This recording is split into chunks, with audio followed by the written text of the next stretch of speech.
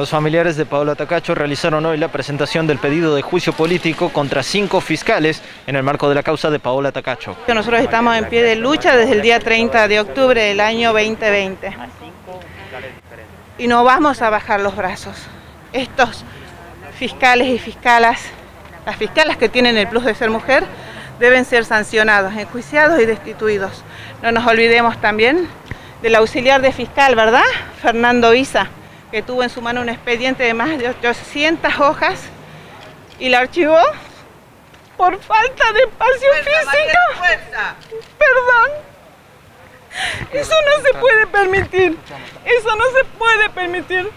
No podemos permitir que sigan en sus cargos matando por acción o omisión. Las expectativas son las mismas de siempre porque las irregularidades están, ¿no es cierto? No hay nada absolutamente nada que los excluya de sus responsabilidades. No hay nada. Y nosotros no pedimos nada que no esté fuera de la ley. Las irregulares están.